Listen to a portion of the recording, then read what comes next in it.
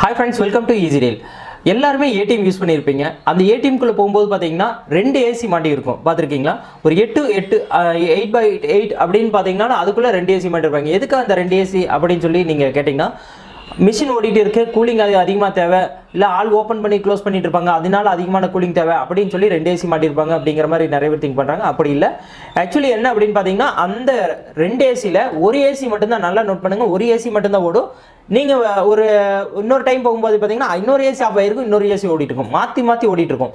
இது வந்து பார்த்தீங்கன்னா எதுக்காக ரெண்டு ஏசி போடுறாங்க? எதுக்கு மாற்றி மாற்றி ஆன் பண்ணுறாங்க அப்படின்னு பார்த்தீங்கன்னா ஒரே ஏசி டுவெண்ட்டி ஃபோர் ஹவர்ஸ் ஓடும்போது பார்த்தீங்கன்னா அதனுடைய லைஃப் சீக்கிரமாக போயிடும் சீக்கிரம் ப்ராப்ளம் வரும் அடிக்கடி ப்ராப்ளம் வந்துட்டுருக்கும் அப்படிங்கிறக்காக ரெண்டு ஏசி போடுறாங்க. இந்த ரெண்டு ஏசியுமே பார்த்தீங்கன்னா இது ஆன் ஆகும்போது பார்த்தீங்கன்னா அது ஆஃப் ஆயிரும் அது ஆன் ஆகும்போது இது ஆஃப் ஆயிரும். ஒரு நாலு மணி நேரம் கேப் இருக்கும். இந்த ஏசி நாலு மணி நேரம் ஓடும் அதுக்கப்புறம் அடுத்த ஏசி இது ஆஃப் ஆகி அடுத்த நாலு மணி நேரம் ஆகும். இது வந்து பார்த்தீங்கன்னா ஏசிலே ப்ரோக்ராம் பண்ணியிருப்பாங்களா அப்படின்னு பார்த்தீங்கன்னா ஏசிலே ப்ரோக்ராம் பண்ணியிருக்க மாட்டாங்க. மேனுவலாக இந்த மாதிரி ஒரு டைமர் ஒன்று வச்சு செட் பண்ணியிருப்பாங்க. இது நீங்கள் வந்து ஏசி பார்த்துருப்பீங்க ஏசிக்கு மாற்ற ஸ்டெபிளைசர் பார்த்துருப்பீங்க. இந்த மாதிரி டைமர் எங்கேயுமே பார்த்துருக்க மாட்டீங்க. இது வந்து பார்த்தீங்கன்னா ஏடிஎம்ல அந்த உள்ள ஸ்டெபிளைசர் ஒன்று பாக்ஸ் வச்சுருப்பாங்க. அதுக்குள்ளே மாட்டியிருப்பாங்க. இது வந்து பார்த்தீங்கன்னா என்ன பண்ணுன்னா நாலு மணி நேரத்துக்கு ஒரு ஏசியும் இன்னொரு அடுத்த நாலு மணி நேரத்துக்கு இன்னொரு ஏசியும் மாற்றி மாற்றி ஆன் பண்ணும். நாலு மணி நேரம் தானே அப்படின்னு பார்த்தீங்கன்னா இல்லை எட்டு மணி நேரம் டைமிங் கணக்கு இருக்குது இந்த மாதிரி டைமர் எங்கெங்கே யூஸ் ஆகும் அப்படின்னு பார்த்தீங்கன்னா ஏடிஎம்ல யூஸ் ஆகும். அதுபோக பார்த்தீங்கன்னா ஃபேக்ட்ரியில் டுவெண்ட்டி ஃபோர் ஹவர்ஸ் ஒரு ஏசி ஓடணும் அப்படிங்கிற மாதிரி ஒரு ஒரு சில ஃபேக்ட்ரிஸ்க்கு நாங்களே அட்டன் பண்ணிட்டு இருக்கோம். லேபிள் தயாரிக்கிற மிஷின் இருக்கு இல்லைங்க. அவங்க பார்த்தீங்கன்னா டுவெண்ட்டி ஃபோர் ஹவர்ஸ் ஓடிட்டே இருக்கும். ரெண்டு ஏசி போட்டிருப்பாங்க. ரெண்டுமே மாற்றி மாற்றி ஓடிட்டு இருக்கும். ஈவன் வந்து இது பார்த்தீங்கன்னா டூ தேர்ட்டி சின்ன சின்ன ஸ்பிளிட்டு ஏடிஎம் பார்க்குற அந்த மாதிரி ஏசிக்கு மட்டும்தானே அப்படின்னு பார்த்தீங்கன்னா அப்படி இல்லை.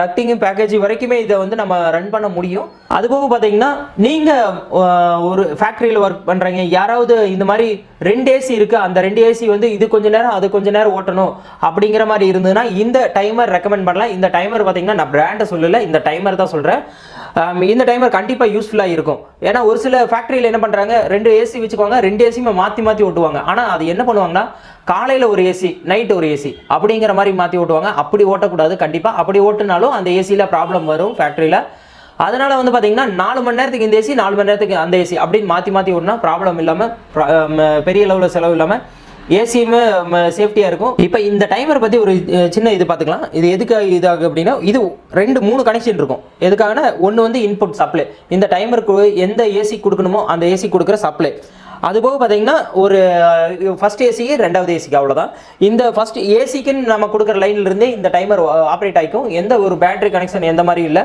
In case power switch off ஆகி லைன் ஆஃப் ஆயிடுச்சு கரண்ட் போயிடுச்சு அப்படின்னா இதனுடைய இன்பில்ட் மெமரி லாஸ்ட்டாக எந்த ஏசி ஆனில் இருந்தோ அந்த ஏசி மறுபடியும் கண்டினியூ பண்ணிக்கும். அதுபோக பார்த்தீங்கன்னா இதில் நாலு மணி நேரத்துக்கான ஆப்ஷன் இருக்குது கீழே இது ஒரு இதை கிளிக்க கீழே அமுத்தி விட்டிங்கன்னா எட்டு மணி நேரத்துக்கும் ஒர்க் ஆகும்.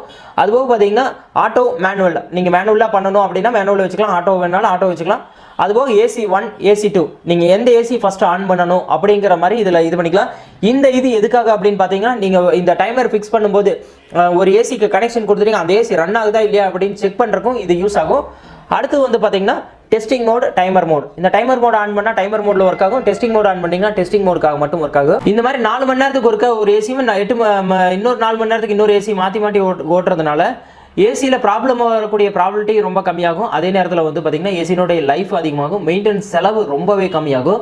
ஃபேக்ட்ரி வச்சிருக்கீங்க நீங்கள் ஃபேக்ட்ரியில் ஏதோ ஒர்க் பண்ணுறீங்க அங்கே இது மாதிரி ஒரு ஐடியா தேவைப்பட்டது அப்படின்னா கண்டிப்பாக இதை நீங்கள் இது பண்ணிக்கலாம். அதே மாதிரி இந்த ஏடிஎம்னுள்ள ஏன் ரெண்டு ஏசி மாட்டியிருக்காங்க அப்படிங்கிறதும் உங்களுக்கு ஈஸியாக புரிஞ்சிருக்கும். இந்த வீடியோ கண்டிப்பாக யூஸ்ஃபுல்லாக இருக்குன்னு நினைக்கிறேன்.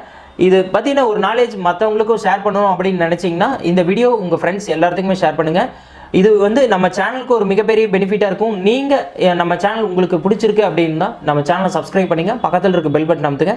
அப்போ தான் நம்ம போடக்கூடிய ஒவ்வொரு வீடியோ அடுத்து உங்களுக்கு நோட்டிஃபிகேஷனாக வந்துடும் தேங்க்யூ